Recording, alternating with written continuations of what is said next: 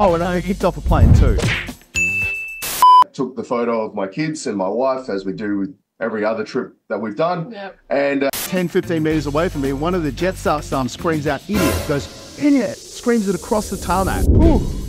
It's been a while, guys. It's been a while. It's been almost a month since you updated everyone on what's been happening in our life. And, and it has been a lot. Where we left off, I think Liam was in the midst of orthodontic work. Yes. Um, in Malaysia, we finally found an orthodontist that would actually listen to us instead of just shoving Invisalign on us to fix it. So he has now had his teeth, front teeth reshaped. We're working on some exercises that he does during the day. And when we get back to Malaysia in two months' time, he is being fitted for their version of a Myobrace to help realign the jaw, shape it out a bit more to get all these teeth to come through. Mind you, he just lost another tooth. So luckily we didn't go with Invisalign because we would have stuffed up pretty much all of that once we lost a tooth. So The, the interesting thing is about dental work, and we found this in Malaysia, is that people have this perception about Southeast Asia that they think it's a backward country, it's like developing, you know, they think of Full Metal Jacket or something like that, Vietnam, when actually it's so developed. You know, like we, the dentist we went to was more modern than most Australian dentists we've ever been to. They had X-ray machines, they had 3D scanners, they had full surgeries in there,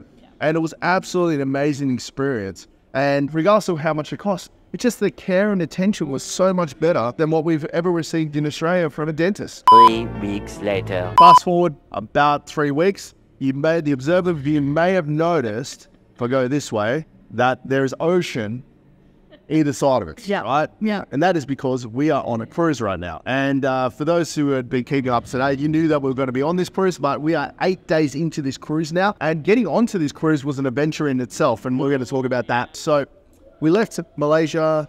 we left Malaysia on the 2nd of April at 9.45 p.m. at night. So we knew our travel day was going to be a long, long, long one because we wouldn't then arrive into Sydney until the next morning. We then had flight changes. They were dropping our midday flight and moving it to 3 p.m. So instead of a three-hour layover, we then had a six-hour layover and for a, like an hour's flight for the next Oh, and I kicked off a plane too.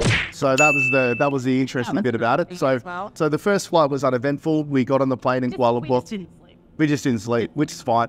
Then we booked in. Uh, we we found like a uh, like an airport international lounge, which we hung out in for a couple of hours. Yeah. Then we got to Jetstar. Got to Jetstar, and uh, was running across the tarmac. problems and problems. Yep. And uh, walking across the tarmac, and like every other tarmac boarding that we've done, we I've taken a photo of the boys with the tails of the plane. So Philippine Airlines, Vietnam, uh, Vietjet, AirAsia. I've got tail photos of the boys and, and Pauline at the tail of the plane, just because I think it's you know it's one interesting photo. The big turbines. Yeah. Like we've got pictures all around these planes from walking on tarmacs in Asia. We go to Australia, and we take one photo, and he gets kicked off the flight. Like, with So- just ridiculous. So basically, I took this photo, and then I don't know, 10, 15 meters away from me, one of the Jetstar staff screams out, idiot. Goes, idiot, screams it across the tarmac. So I was like, whoa. So I turned around, I walked over to her, and I said, did you really just call me an idiot? like, I was just dumbfounded hmm. because, like, I didn't expect a airline staff to be calling me that. And then she just went off her, she just went off her rocker at me. You should know better. You know, you can't take photos on this. This is a federal offense. The police are going to be waiting. I was like, whoa, I'm just taking a photo of my kids. It's nothing, you know, my phone was on flight mode. Anyway, at that point, I was like, what are you talking about? What is your name? Because I was just going to report it. And so we're having a to and fro conversation about it. And she's like, no, that's it. You're not on the plane anymore. Get off the tarmac. The police will be waiting for you upstairs. So anyway, she reckons I was abusing her. So we got up to the, I got up there. Now the thing was, they didn't even let Pauline know that I couldn't board. So Pauline had gotten on the plane, and I was like, "Can you at least let my wife and kids know that I'm not going to make this flight if I'm not on it?" No, no, you don't deserve that. This is her exact words. You don't deserve that. Just get off the tarmac. I was like, wait a minute. She's got my passport and wallet. What am I supposed to do? Mm. So anyway, get into the gate boarding area. Waited 45 minutes. You know, stressing out because Pauline's on the plane, stressing out that she can't get in contact with me. I was stressing out because I can't let them know what's happening. Long story short, about two minutes before the plane was about to leave, they let me back on the plane. Now, if I had actually abused her in any way, do you think they would ever let me back near anywhere near that plane? No. She instigated, then she antagonized me. So anyway, I, put, I made a TikTok about it. It went viral. Like 15 news stations wrote about it. We are on the Today Show about it. It was just a big blow up. Uh, and then it's nice because on this cruise, it's sort of the, the the whole thing's sort of blown over. We still haven't got an apology yet, so we're still waiting on that, but that's okay. So long story short, we made it onto the cruise. Boarding was reasonably uneventful. was actually really good with the thousands of people that were standing in line with. So you you can imagine we've gotten to the cruise terminal. There are just cars unloading people just constantly, right? There's a line halfway down, like the drop off area, like the Uber drop off area. The line is halfway down. And we're getting loaded, we're like, oh my gosh, we're going to be here for hours getting onto this cruise. And all of a sudden, this line went from here to pretty much we were at the door within like 10 minutes. Then inside was another 10 minutes. Like it just, it took us Probably now. it was just under an hour. I think I watched I watched the time because I looked at my phone just when we turned up. It was 50 minutes. 50 minutes from the time we stood in line to the time that we were literally on the ship getting to our stateroom. So definitely applauding the cruise terminal down there because the staff just made it so easy to get on board. Obviously, we printed out all the right documents and we'd done all the right things. Stuff we didn't get, we didn't get, you know, Left behind. left behind with you know other people that hadn't done visas stuff like that. So we'll we'll pretty much all. But yeah, then we had a few issues on the ship. So we had actually booked a quad room, and from the quad room that we booked, we believed that we had a bunk room. So we, it was supposed to be a bed and then um, a couch with a pull down bunk over the top of it. So we'd have all four of us in the room. We'd still have some floor space, that kind of stuff. Turned up in the room? No all we had was a couch, a pull-out bed, and our bed. And when you pull out the bed on the floor, you literally lose all of the floor space. There, And- there was nothing left. Like, And we're not we're not picky in any real way. Like we weren't concerned about the fact that it was a pullout. Uh, we were concerned that I needed to work, and as soon as you pulled the bed out, there was no space. You couldn't get to the desk. use the desk and all. It rendered the desk in, inoperable because of where the bed ends up. Now, there was no option to move that desk either. So we went down to guest services and we were so polite. We just said, look, this is a situation. We thought we had booked a bunk room, like that is your advertising that was on the website.